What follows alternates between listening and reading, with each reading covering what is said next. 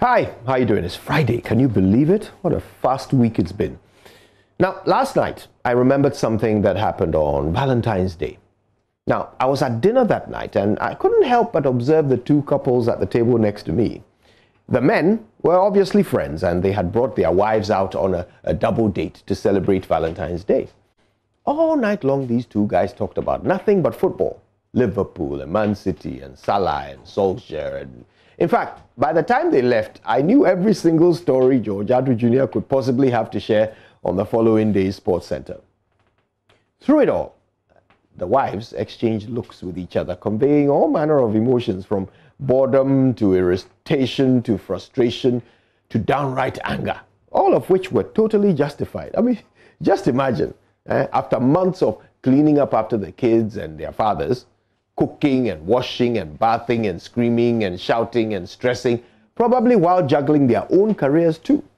On the one night that they get to go out on a romantic date with their husbands, the guys want to spend the whole time talking about flaming football. How annoying. So then I started thinking about all the men and women around the country who were also out that night, probably for the only time this year. I thought about those who were receiving their only presents for the year because their spouses would probably forget their birthdays again. Those enjoying their first and last massage, chocolates, roses, or even sex for the, for the whole year. What a tragedy to live with someone you love, but only show it once a year. The more I thought about it, the more I realized that we all tend to do exactly that, not only with love, but with all the important things in our lives. So we are only Christians on Sundays. For the rest of the week, we gossip, lie, bribe, steal, and abuse each other like we've never seen a Bible before. We only seek to improve our lives on New Year's Eve. For the rest of the year, we just go back to the exact same habits that have taken us nowhere for so many years.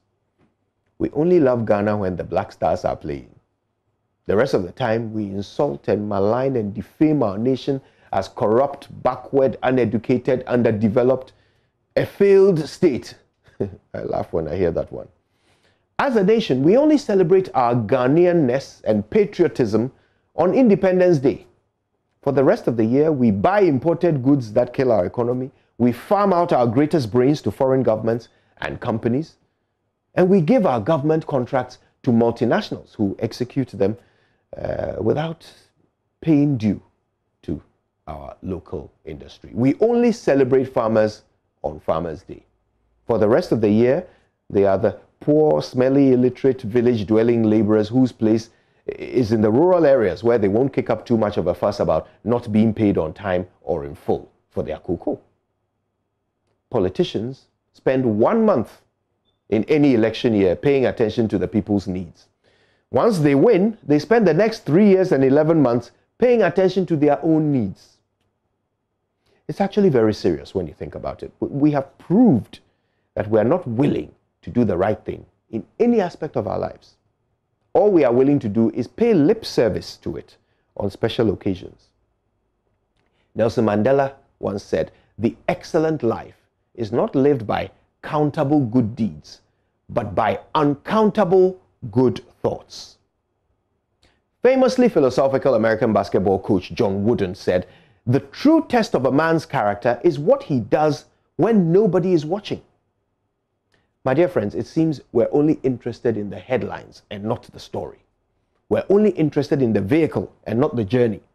We want the wedding but not the marriage. We want the baby but not the soiled nappies. It's time we start managing our own expectations. It's time we had a quiet word with ourselves about the realities of life. Whatever we dream of doing, we must do it every single day, not only on special occasions, on every occasion in between. How will you become a, a singer if you don't sing every day?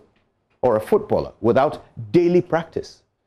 If you want to be excellent, be excellent every moment of your life, not just when it's expected, and not only when people are watching. With every thought, you must move yourself closer to your goal.